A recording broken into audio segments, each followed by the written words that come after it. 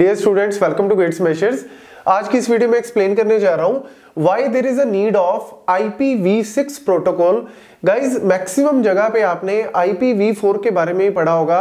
चाहे आप competitive exam की बात कर लो कॉलेज यूनिवर्सिटी एग्ज़ाम की बात कर लो, वहाँ पे अभी भी IPv4 प्रोटोकॉल के बारे में ही पूछा जाता है मैक्सिमम लेकिन अभी जो है IPv6 प्रोटोकॉल जो है वो बहुत ज़्यादा पॉपुलर हो चुका है और आपको इसके बारे में पूरी डिटेल में पता होना बहुत ही ज़रूरी है। ऑल दो IPv6 के हेडर के बारे में ऑलरेडी मैंने वीडियो बनाई हुई है कि उसका हेडर के अंदर कौन कौन सी फील्ड्स है, क्या पर्पज है उन फ़ील्ड का। लेकिन कई बार क्या होता है ना कॉम्पिटेटिव एग्ज़ाम में या कई बार इंटरव्यूज़ वगैरह में भी आपसे ये पूछ लेते हैं कि यार IPv6 की नीड क्या है? जब ऑलरेडी IPv4 बहुत अच्छा चल रहा है तो what is the need of IPv6 क्या ऐसे रीजंस हैं कि हमें IPv6 पे शिफ्ट होना पड़ रहा है? तो वो आपको मैं इस वीडियो में सारे के सारे पॉइंट क्लियर करना चाह रहा हूँ। तो गाइस फटाफट से वीडियो को लाइक कर दें चैनल को सब्सक्राइब करें। अगर अभी तक आपने नहीं किया अगर कर भी दिया तो और डिवाइसेस से सब्सक्राइब करवा सकते हो। सब्सक्राइबर्स बहुत ज़रूरी है। चलिए स्टार्ट करते हैं। सबसे पहला पॉइंट ये है कि IPv6 को हम क्या बोलते हैं? आईपीएनजी प्रोटोकॉल भी बोल देते हैं आईपिंग प्रोटोकॉल बोल देते हैं। इसका मतलब क्या है? आईपी नेक्स्ट जनरेशन ठीक है? तो जब भी हम नेटवर्क लेयर प्रोटोकॉल की बात करते हैं तो उसमें आईपी प्रोटोकॉल ही आता है और आईपी में IPv4 और IPv6 जो है, वो दो वर्जन है।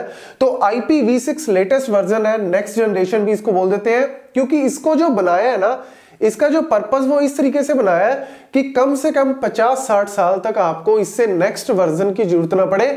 आप इजीली इसके ऊपर जो है वो काम कर सको। और एक्चुअली हो क्या रहा है ना, अभी तक हम लोग क्या कर रहे थे कि अपने जैसे लैपटॉप है मोबाइल्स है, इनको हम इंटरनेट से कनेक्ट करने की कोशिश कर रहे थे। मतलब इनको हम कनेक्ट कर रहे थे, लेकिन जब से आईओटी का कॉन्सेप्ट आया इंटरनेट ऑफ़ थिंग्स का कॉन्सेप्ट आया तो वो कहता है कि जो हमारे घर के रेगुलर डिवाइसेज है एसी है वॉशिंग मशीन है फ्रिज है, कुछ भी। मतलब आप लैपटॉप और मोबाइल फ़ोन को तो कनेक्ट कर ही रहे हो। इसके अलावा इन सारे डिवाइसेस को भी आप क्या कर दो इंटरनेट से कनेक्ट कर दो। मतलब होम अप्लाइंसेस को भी कनेक्ट कर दो। इसीलिए तो वो स्मार्ट होम्स आपने सुना होगा स्मार्ट वॉचेज आपने सुना तो ये सारे इंटरनेट के थ्रू जो है वो कनेक्टेड है। तो यार, इतने डिवाइसेस अगर कनेक्ट हो रहे हैं तो ऑब्वियसली मेरे को इतने high number of IP addresses भी चाहिए। ठीक है ना? क्योंकि अगर आईपी एड्रेस मिलेगा, तभी वो इंटरनेट से कनेक्ट होंगे।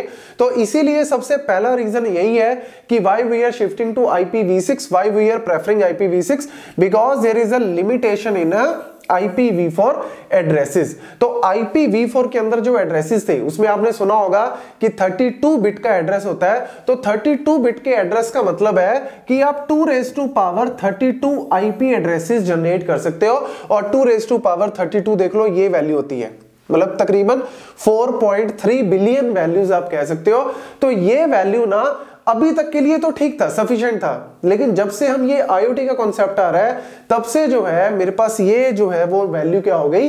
कम हो गई, छोटी होगी और उसमें आपने ये भी सुना होगा कि एक्चुअली क्लासफुल जब एड्रेसिंग थी तो उसमें क्लास डी क्लास ई को बहुत ही अलग अलग पर्पजेज के लिए उन्होंने रिज़र्व किया हुआ था। ऑल क्लास लेस एड्रेसिंग के थ्रू या नेटवर्क एड्रेस ट्रांसलेशन जो नेट का कॉन्सेप्ट था, उसके थ्रू भी हमने काफ़ी एड्रेसेस जनरेट कर लिए। स्टिल हमारा पर्पस जो है वो सॉल्व हो रहा था, लेकिन जब से आईओटी का कॉन्सेप्ट आया, इतने डिवाइसेस आ गए हैं तो इसीलिए मेरे पास वहाँ पे नंबर ऑफ़ आईपी एड्रेसेस जो क्या थे वो लिमिटेड थे। तो इसीलिए हम लोग जो है वो अब यूज़ कर रहे हैं आईपीवी क्योंकि आप देख लो जी इसके अंदर। ये तो वैल्यू को भी जज करना बहुत ही मुश्किल है। क्विंटिलियंस में वैल्यू है, इतनी बड़ी वैल्यू है, इतने नंबर ऑफ़ एड्रेसेस आप जनरेट कर सकते हो। तो आने वाले 50-60 साल तक आप कह सकते हो कि यार ये नंबर जो है वो सफिशिएंट है। तो ये सबसे पहला, सबसे बड़ा रीजन आप ये कह सकते हो। बट अकेला ये रीजन नहीं है, और भी बहुत सारे हैं। जैसे रियल टाइम डेटा ट्रांसमिशन जब भी हम रियल टाइम डेटा ट्रांसमिशन की बात करते हैं, चाहे आप उसमें लाइव स्ट्रीमिंग की बात कर लो ऑडियो वीडियो को ट्रांसमिट करना है हमें तुरंत। इमीडिएटली मतलब सेंडर ने भेजा रिसीवर के पास उसी टाइम पहुँचना चाहिए। जैसे लाइव स्ट्रीम करते हैं, जैसे आप मैच वगैरह देखते हो क्रिकेट मैचेस की बात करें तो ऐसा नहीं है कि उसने बॉल डाली और आपको 10 मिनट के बाद दिखेगा। नहीं, आपको लाइव स्ट्रीम में ठीक है, थोड़ा बहुत डिले हो सकता है बट स्टिल वो चीज़ जो है वो बिल्कुल मैच करनी चाहिए। तो IPv4 में हमारे पास ऐसे कोई ऐसे आप कह सकते हो, कोई फ़ील्ड नहीं थी या कोई ऐसा सपोर्ट सिस्टम नहीं था कि जो इसको सपोर्ट करे। लेकिन IPv6 में रियल टाइम डेटा ट्रांसमिशन के लिए हमारे पास क्या है? सपोर्ट सिस्टम है। तो इसीलिए ये भी एक एडवांटेज होगी। देन ऑथेंटिकेशन ऑथेंटिकेशन की अगर हम बात करें ऑथेंटिकेशन का मतलब क्या है कि मैसेज जो है वो ऑथेंटिकेटेड होना चाहिए। मतलब मैंने आपको मैसेज भेजा आपके पास वो मैसेज रिसीव हुआ। तो आपको कंफर्म्ड होना चाहिए कि भैया वो मैसेज मैंने ही भेजा था। मतलब वो मैसेज मेरे थ्रू ही आया था।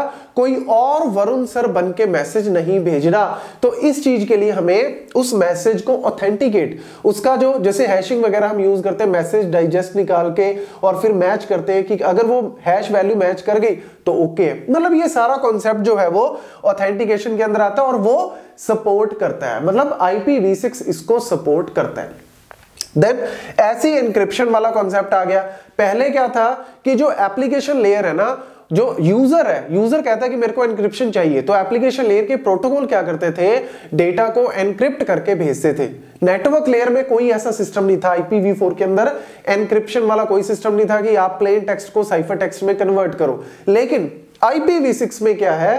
कि एप्लीकेशन लेयर अगर मतलब ऊपर वाली लेयर अगर डेटा को एनक्रिप्ट करके भेज रही है तो अच्छी बात है। अगर वो नहीं भी भेज रही तो नेटवर्क लेयर पे भी हमें जो है वो ये चीज़ इनेबल हो चुकी है। मतलब IPv6 जो है, वो भी मैसेज को क्या कर सकता है? एनक्रिप्ट कर सकता है। तो सिक्योरिटी भी यहाँ पे मिल रही है, जो कि आज के टाइम पे बहुत ही ज़्यादा मेजर क्रूशल आप कह सकते हो पॉइंट है, क्योंकि इतने डिवाइसेस कनेक्ट हो रहे हैं, इतने लोग सारे ई कॉमर्स पे आ रहे हैं तो ऑब्वियसली सिक्योरिटी भी मेजर कंसर्न है। तो ये भी एक बड़ा एडवांटेज है इसका। Then fast processing at the routers मतलब हुआ क्या कि IPv4 में बहुत सारी फील्ड्स ऐसी थी। मतलब उसका अगर आप हेडर देखो ना तो 20 से लेके 60 बाइट तक का वेरिएबल हेडर था। मतलब बहुत सारी फील्ड्स जज करनी पड़ती थी कैलकुलेट करनी पड़ती थी राउटर पे, चाहे आपको ये चेक करना हो कि हेडर की लेंथ कितनी है, वो भी आपको कैलकुलेट करनी पड़ती थी। उसके अलावा चेकसम बहुत सारी वैल्यू थी।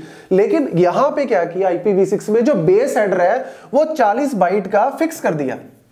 मतलब कुछ चीज़ें जो है वो वहाँ से हटा दी ताकि एक्स्ट्रा प्रोसेसिंग ना हो तो राउटर जो है वो एक्स्ट्रा टाइम ना लगाए, वो फटाफट से प्रोसेस कर सके। ठीक है? ऑल बाकी की चीज़ें एक्सटेंशन हेडर में डाल दी, लेकिन बेस हेडर उन्होंने फिक्स कर दिया।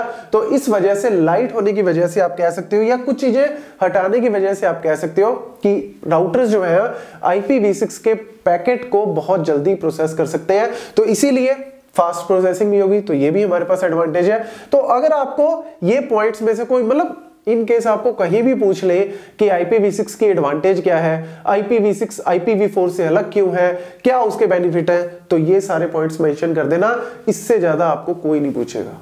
Thank you